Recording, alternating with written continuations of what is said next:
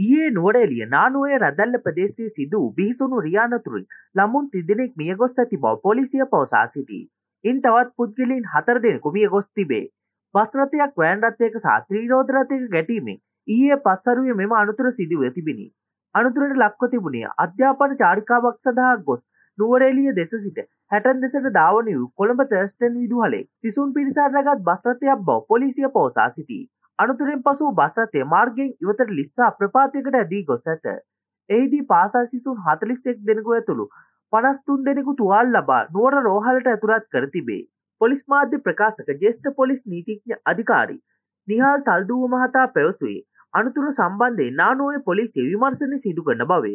අනතුරින් van රථයේ සිටි හය දෙනෙකු සහ ත්‍රීරෝධ රථයේ සිටි රියදුරා මිය ගොස් තිබේ.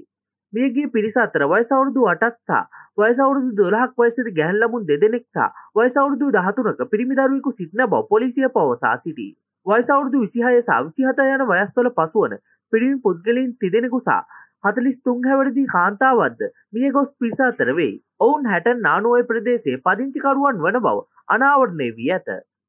මේ අතර අනතුරට ලක් වූ සිසුන්ට කඩිනමින් සහන සලසන ලෙස ජනාධිපති රනිල් වික්‍රමසිංහ මහතා අදාළ අංශවිත උපදෙස් ලබා දී තිබිණි.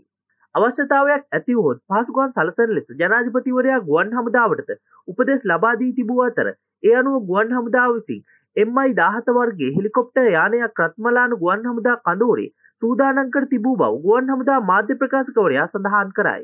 තුවාල් ලැබූ සිසුන්ගේ තත්ත්වය බරපතල නොවන බවද රෝහල් ආරංචි මාර්ග සඳහන් කර සිටී.